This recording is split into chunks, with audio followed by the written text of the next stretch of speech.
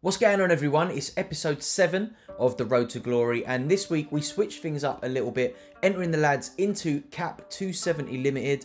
So we are bypassing that ETH reward this weekend and hoping to hit the cards. Let's have a little look at how the boys got on this week, and we will look ahead at what we've got going on for the weekend as well.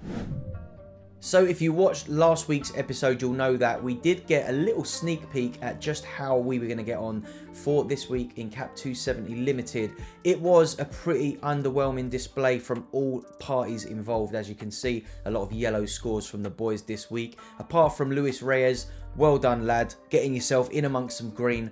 It's still not going to be good enough to get us any reward, though. We did manage to scrape 100 coins. I'm not too sure how we can integrate that into a actual road to uh, any kind of glory just yet until Sorare update what we can spend those on of any interest to us trying to kind of trade our way up into profits. Anyway, we go again. Cap 270 limited, obviously a little bit out of our reach Hopefully we can put together a team that can compete in Cap 240 Limited this weekend. Let's have a little look at how we got the boys lined up. Fingers crossed for some end product this weekend. Heading into Cap 240 Limited this weekend, hoping to scrape that $5 of ETH and if we're extremely lucky, who knows, we might even bag a card.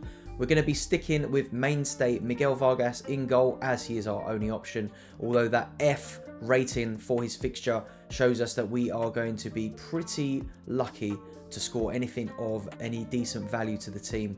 So we're going to have to hope that the rest of the team can really pull together and pull it out of the bag. Justin Maram up top has been hitting a decent, decent bit of form at the moment. Fingers crossed he can continue that up top with Mickey or Kramer, one of our recent heroes and signings as well. Uh, a lot of bad fixtures across the board for the boys, so my hopes of a reward this weekend are pretty low, if I'm being completely honest with you. But with a bit of luck, they can scrape home that $5 and we can have a little look in the transfer market next weekend. Gameplay and SO5 aside, let's have a little look at how our cumulative value of our squad is doing on the charts. If we look at the current valuation of our entire squad, it is sitting at around £41 and 9 pence, which is down from the initial £50 that we invested plus the $5 of ETH that we spent on Mickey Kramer a couple of game weeks back. So overall, we are down on our initial investment just a bit, as well as that $5 that we spent. But we do also have $5 in the kitty that we can spend to strengthen things for the forthcoming game weeks.